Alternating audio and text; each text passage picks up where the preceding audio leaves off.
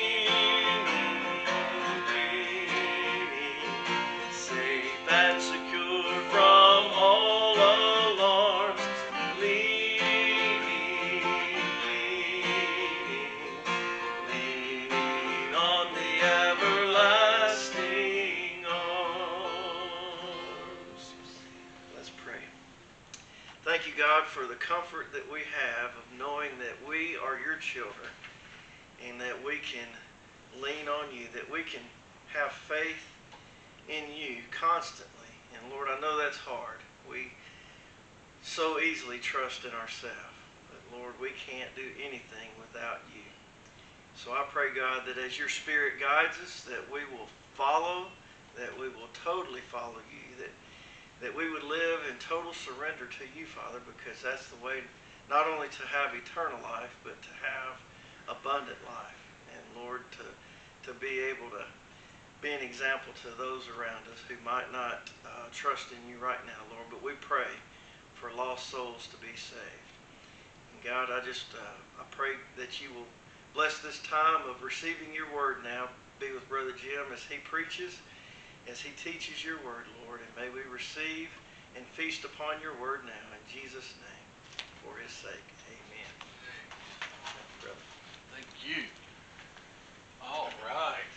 Well, if you have your copy of God's Word, I know you'll want to go with me to 1 Corinthians chapter 15. The first 23 verses in that chapter are some of the most powerful verses in all of this particular letter. Maybe some of the most powerful verses in all of God's Word.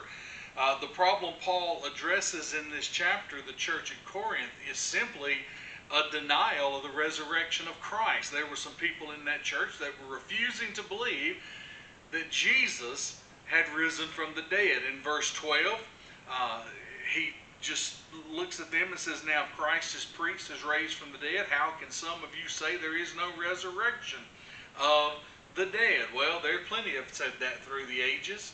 It is said that Thomas Jefferson didn't believe in the resurrection. In fact, he was so determined uh, that he was to, to refute the Bible teaching of the resurrection that he edited his own Bible.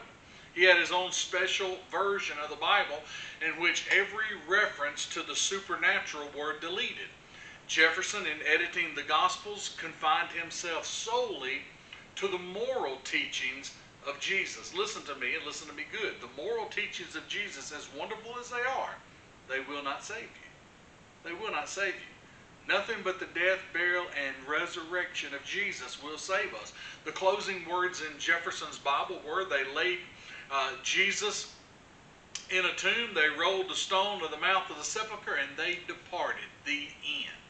That's where his Bible ended. Thank God that's not how the story really ends. This evening, I want you to, I want to give you a brief outline. First, let's talk about the truth of the resurrection and the testimony, simply the testimony of the gospel. And in verse 3, it deals with his death. Look at verse 3. He says, For I passed on to you as most important what I also received, that Christ died for our sins according to the Scriptures. In Romans chapter 6 and verse 23, the Bible says, The wages of sin is death. Of course, we know that our Lord never sinned. Jesus never sinned, but you and I certainly have. And if Jesus was to become our substitute, then he must die for sin in our place.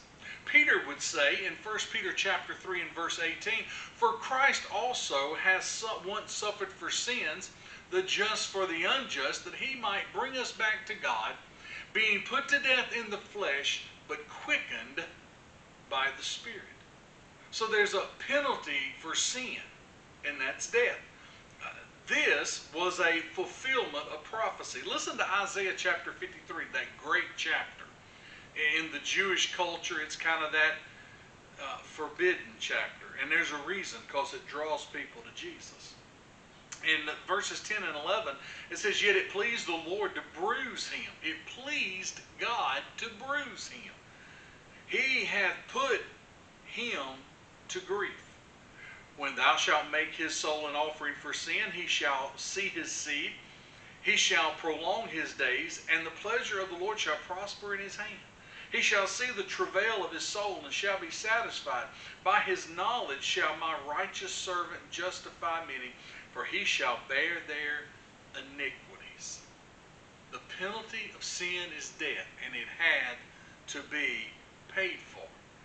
And, and some 700 years, give or take, before Christ, Isaiah predicted it would be. Well, what about his burial? In verse 4, it says he was buried.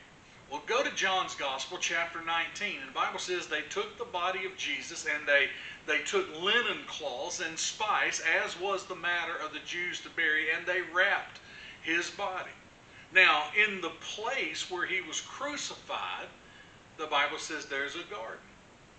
And in the garden, there was a new sepulchre where no one had ever been laid in. And there they laid Jesus because the Jews' preparation day was at hand for the sepulchre was close at hand. Again, fulfillment of prophecy. Isaiah 53 9. And he made his grave with the wicked and with the rich in his death because he had done no violence, neither was there any guile or deceit in his mouth. His, his death, his burial. What about that resurrection? Verse 17, and if Christ be not raised, your faith is in vain, yet you are still in your sins. The best part of the story is that on the third day, Jesus arose.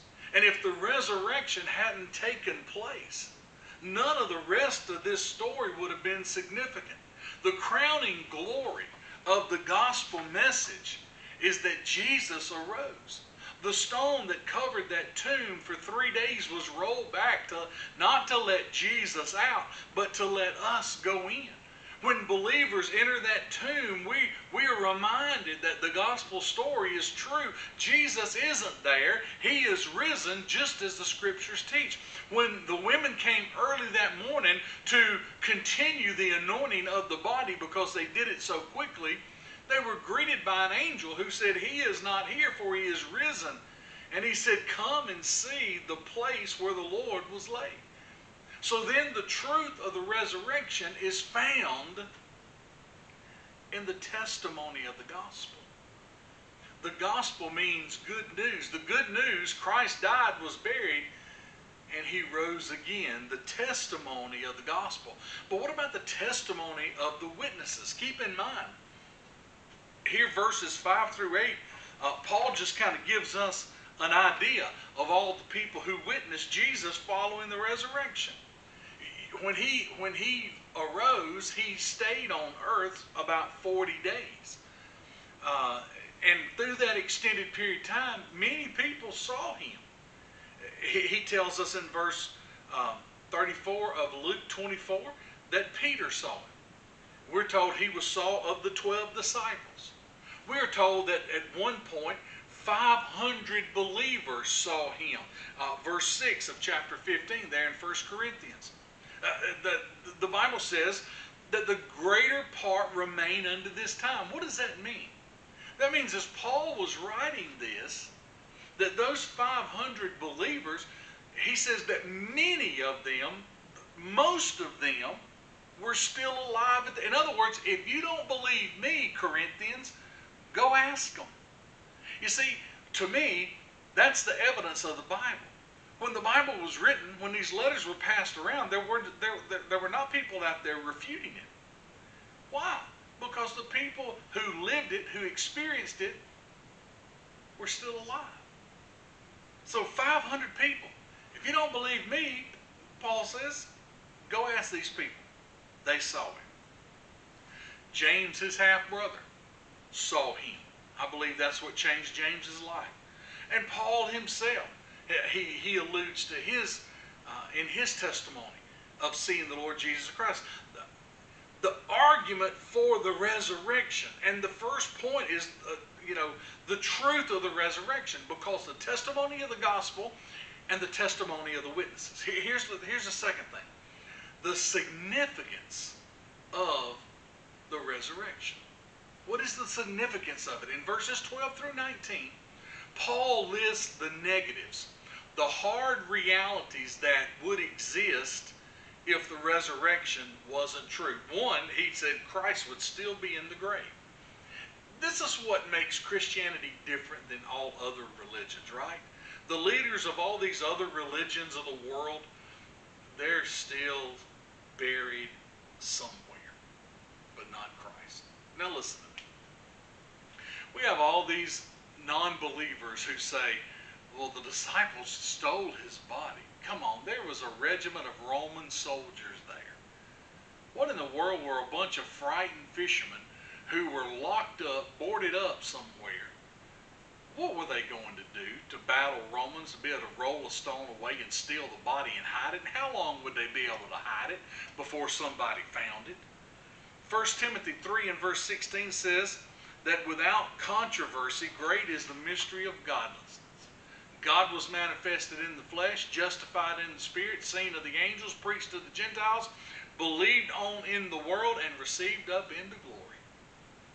He's not in the ground. If Christ was still in the ground, our preaching would be in vain. That's what Paul says in verse 21. It would be a waste of time for me to stand here and preach. It'd be a waste of time for me to prepare. It'd be a waste of time for us to even be in church. If he had not come out of that grave, we're wasting our time. But he is alive, and it's the reason we preach the wonderful message that Jesus saves. 1 Corinthians 1.21, For after that in the wisdom of God, and the world by wisdom knew not God, he said it pleased God by the foolishness of preaching to save them that believe. You know, it's kind of difficult for me to believe that my calling and my profession is foolishness. But the fact of it is, it is foolishness. the foolishness of preaching the gospel, but it saves people. If Christ were still in the grave, our faith would be in vain. Not just preaching in vain, but our faith. We believe in a living Christ. We believe in one who is alive and one who forgives, and one who saves, and one who intercedes for us, and one who will guide us through life, and one who will take us to glory in the future. This is our faith. We believe in him. If he had not come forth from the grave, all of the above would be for naught. It would be in vain. But thank God, he is alive. And listen, if he wasn't alive, we'd be false witnesses our message would be a false message. We'd be like the Jehovah Witnesses who deny the bodily resurrection of the Lord Jesus Christ. We'd have an empty story and we'd have no hope for anybody. Hey, if he wasn't alive, we'd still be in our sin. In John chapter 8 and verse 24, Jesus said, There I say unto you, that you shall die in your sins if you believe not that I am he. If you don't believe in me, then you're going to die in your sins. We'd still be in our sins if Jesus wasn't risen. And then those who died believing would perish.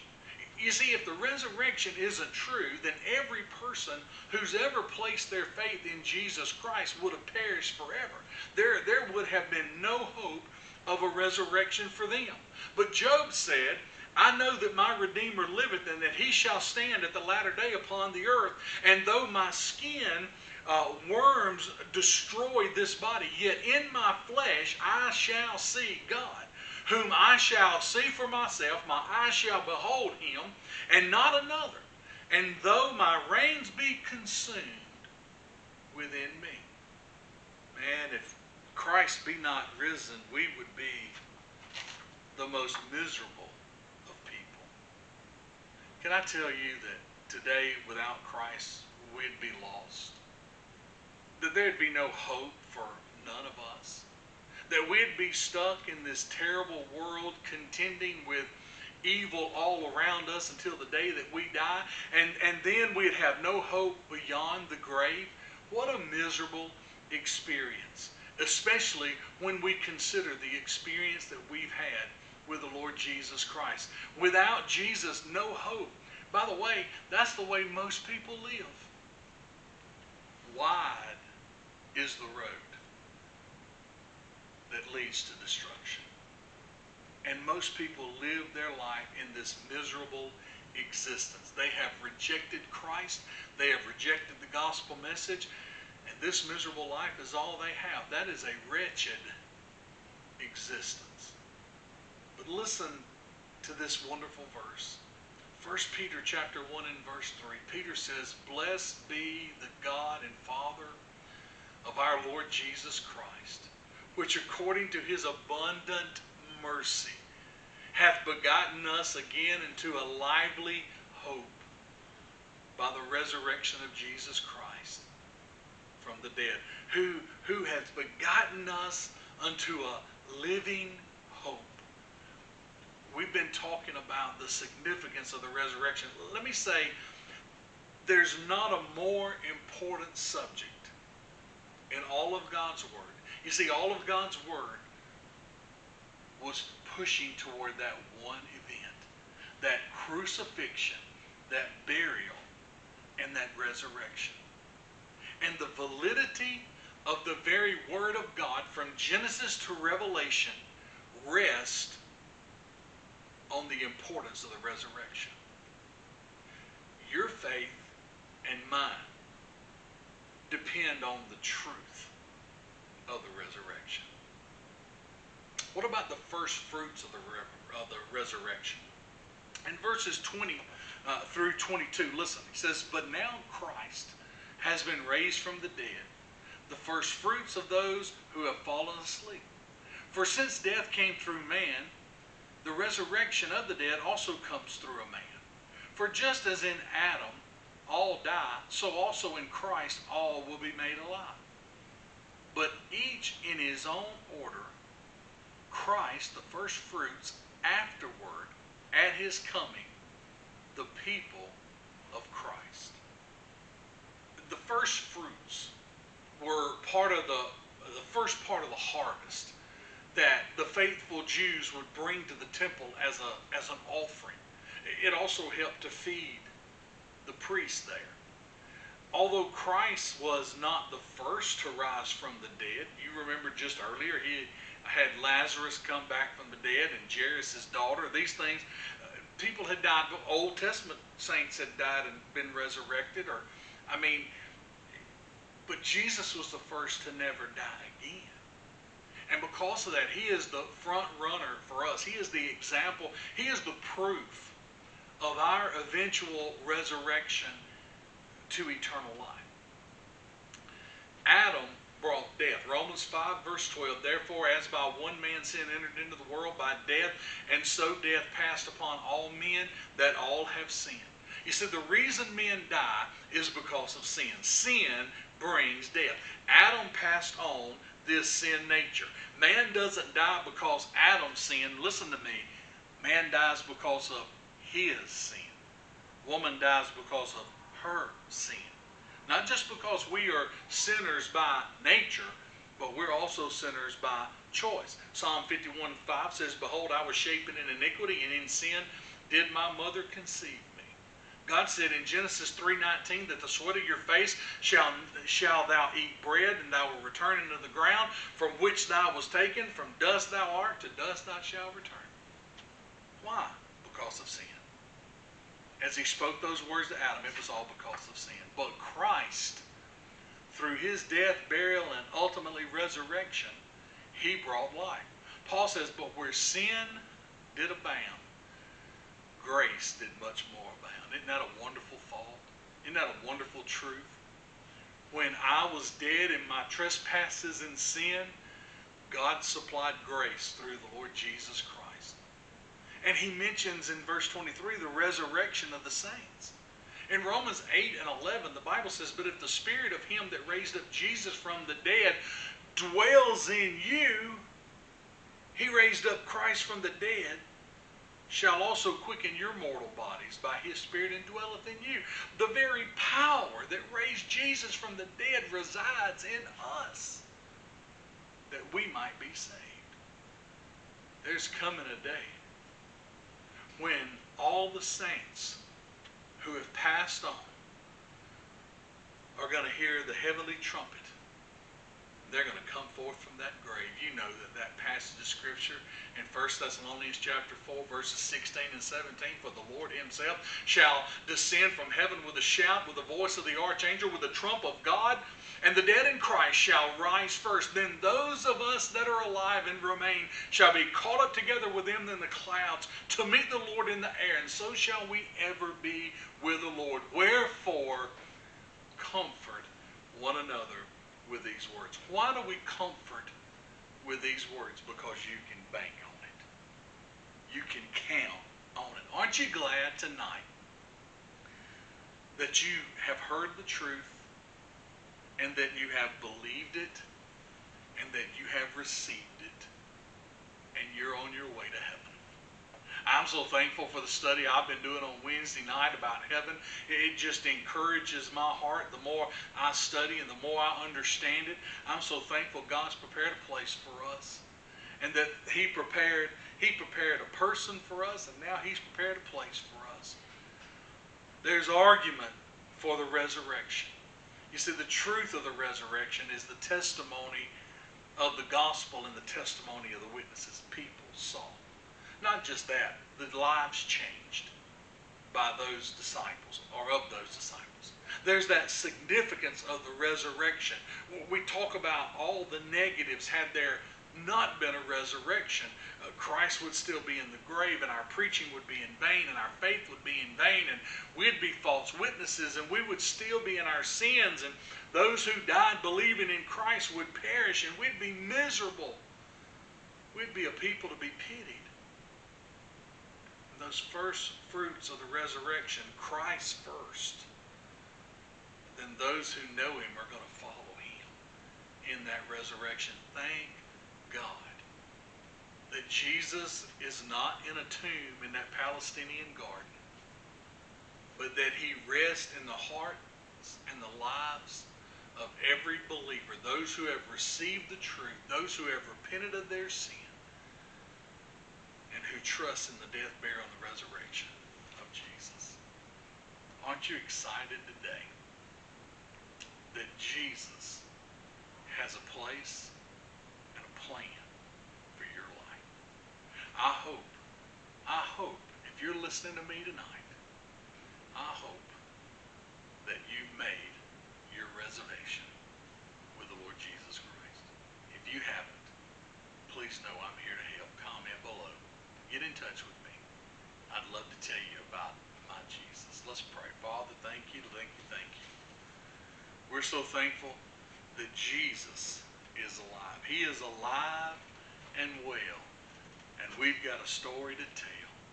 God, I'm so thankful today that you loved us so much, that you gave your very best when we were at our very worst. We've had an opportunity to come to know you and be reconciled to you by the precious blood of Jesus, and that we're going to one day be with you because of the resurrection of our Lord Jesus Christ. Thank you, God, for this time, for this moment, for these people. In Jesus' name I humbly pray.